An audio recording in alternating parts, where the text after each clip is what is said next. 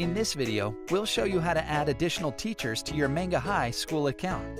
If you want to share the Mangahigh experience with your colleagues, you can simply add them in the Admin tab of your Mangahigh dashboard. Adding a teacher takes no time at all. Just fill their details and the name you'd like to display to your students. You can then choose to make a teacher an admin as well, which means they can edit student details and add and remove students and other teachers from Mangahigh. When you've created the teacher account, they will get an email where they can set their password. They can log in and start exploring Mangahigh straight away. Happy teaching!